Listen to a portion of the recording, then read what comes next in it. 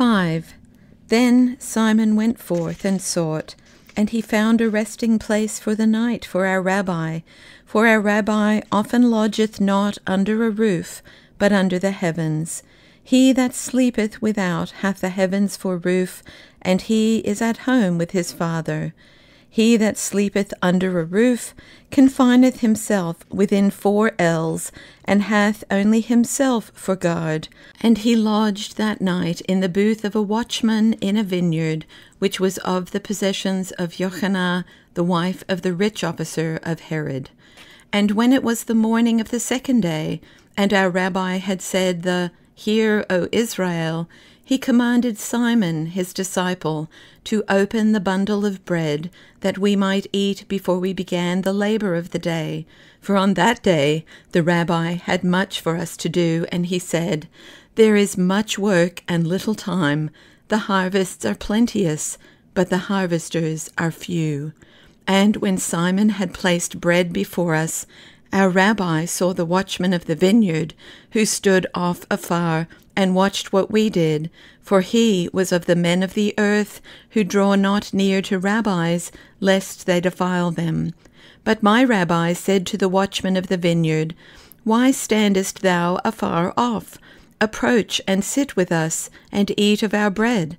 And the watchman answered, how shall I approach and eat of your bread, if you are learned, and I am of the men of the earth? And our rabbi said, It is written, Ye are all children of your Father in heaven. And the watchman answered, Yea, but I am not of the learned. The law is not strong in my hand, and I know not how to observe the commandments of clean and unclean, and my hands will defile the bread. But the rabbi looked at the heavens and said, Behold and see, O my Father in heaven, how they have divided thy children into clean and unclean, pure and impure. And he said unto the watchman, Come, Mattathias, sit down by us and eat our bread. Not the learning which is outward lifteth man and maketh him clean, but the learning which is in the heart. Mattathias, thou fulfillest all the law. And the watchman of the vineyard did even so, but with great fear. And when he took in his hand the bread which the rabbi gave him, his eyes were full of tears, and the tears fell on the bread, and he said, Woe is me, Rabbi! I know that I shall fall into the nethermost pit, because I have not observed the law, and I know not that which one may do, and that which one may not do. But the rabbi wiped the tears from his eyes and said, I say unto thee, Mattathias, that not thou, but they who complain against thee to our Father in heaven, and speak evil of thee unto him, shall suffer the fires of hell. Thou hast brought thy heart before God, and a humble heart and lowliness of spirit are the most acceptable sacrifices unto him. And he turned unto the city, and lifted up his hands, and he said, Woe unto ye, scribes and Pharisees, who travel over land and sea to win one soul, and when ye have it, ye make it a child of hell.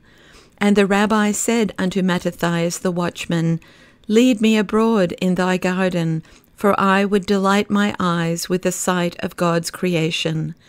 And as the rabbi sat in the vineyard of Jochannah, the wife of Herod's officer, he looked on the green that blossomed from the earth, and the fresh blossoming which was in the buds.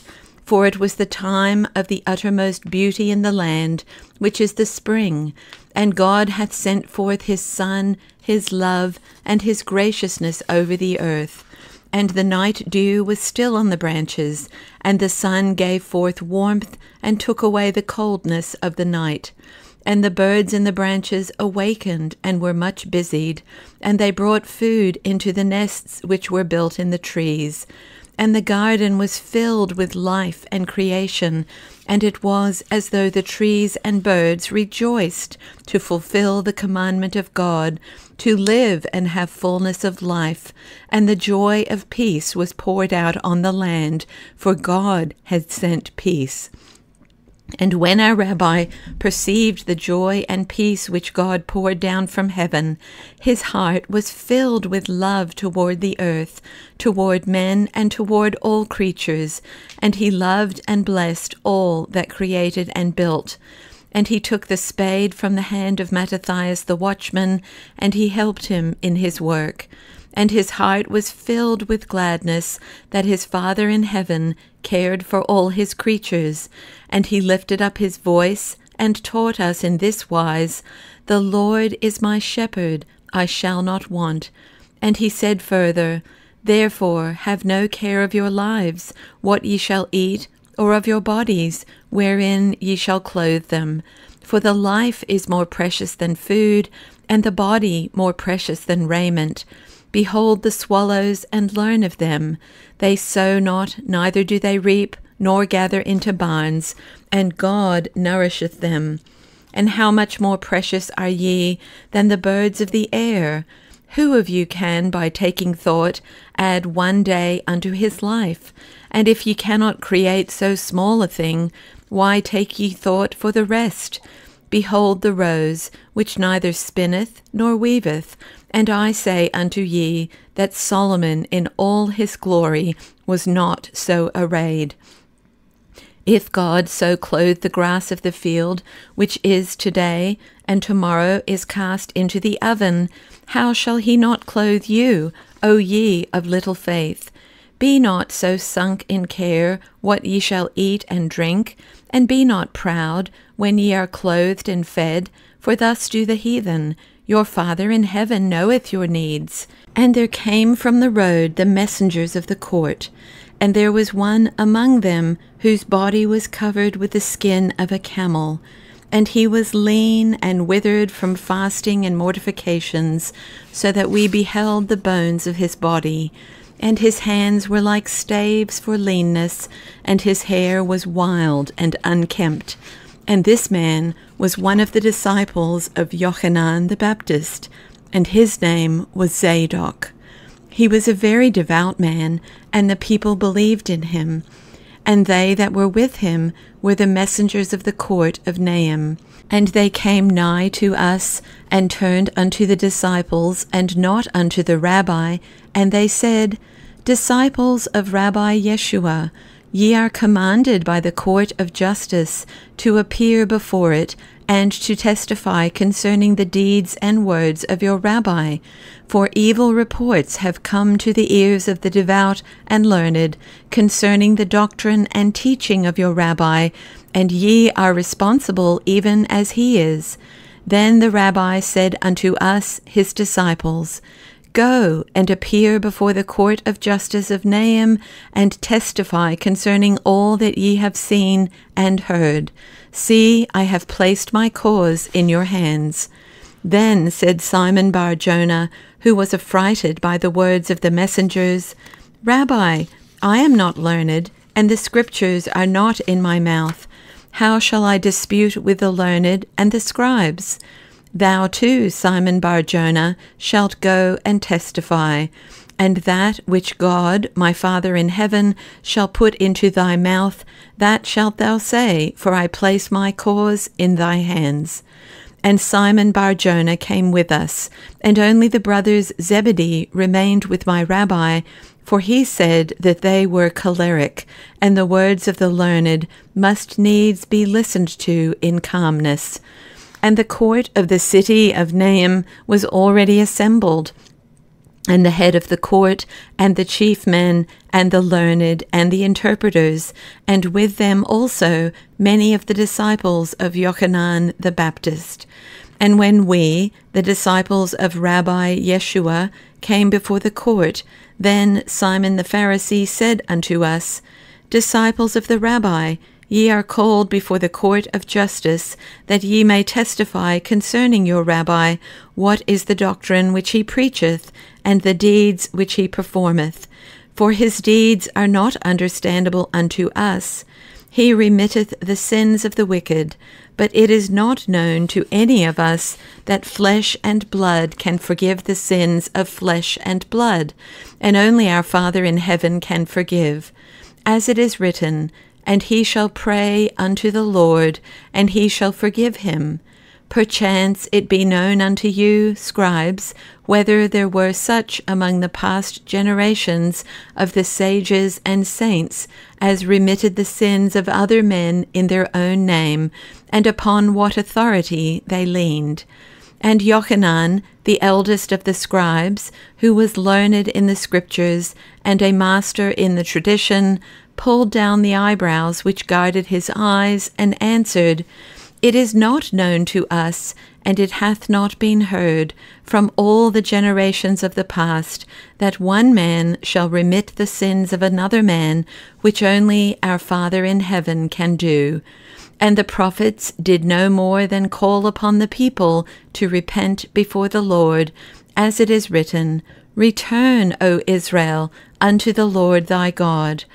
And the Torah giveth reckoning concerning all the sins which a man committeth, whether of set purpose or unwittingly, that he shall bring this and this sacrifice, and confess himself before the Lord. But no man hath the right to forgive the sins of another, save they be the sins which were committed against him. And the head of the court turned unto the disciples of Jochanan the Baptist, and asked, Was it thus with your rabbi, that he forgave you your sins when ye went unto him to be baptized in the wilderness of Judea?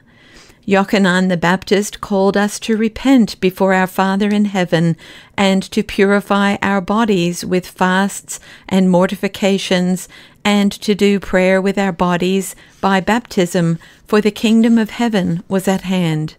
And Simon the Pharisee lifted up his voice and said, and when we inquired of your rabbi by what authority he remitteth their sins, which none of flesh and blood may do, and was not done even by Moses and the prophets, nor by the oldest of the Hasideans, nor yet by Jochanan the Baptist, then he spoke with harsh words to the learned and the scribes who were assembled there, and he left our company and went unto the house of Jochanan the tax collector, into which no Jew may enter, for the house of the wicked is unclean.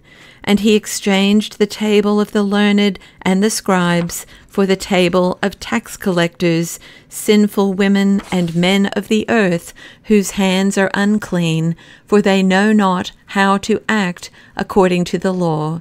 And he showed miracles unto them. He exorcised evil spirits and remitted sins, and he spoke with authority, as if the law had been delivered into his hands, and he could do therewith as pleased him. The words of your rabbi are not understandable to us, and we have called you before the court of justice. You, the disciples, are responsible for your rabbi, as he is for you. And now declare unto us explicitly, Who is he that is your rabbi? Upon what authority doth he lean for his words? And with what power doth he perform wonders? And thus we may know how to deal with him. Then rose Zadok, who was the disciple of Jochanan the Baptist, and his voice was thin and weak, for his body was withered with much fasting and mortification, and he said, Jochanan the Baptist called us into the wilderness, and he bade us mortify our bodies with hunger and thirst, that our souls might be strengthened, for the kingdom of God is at hand.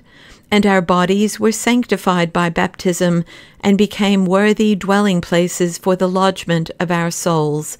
But who is he that eateth and drinketh with sinners? We hear his words, and we behold his deeds, but they are not to be understood, for he goeth not in the footsteps of Jochanan.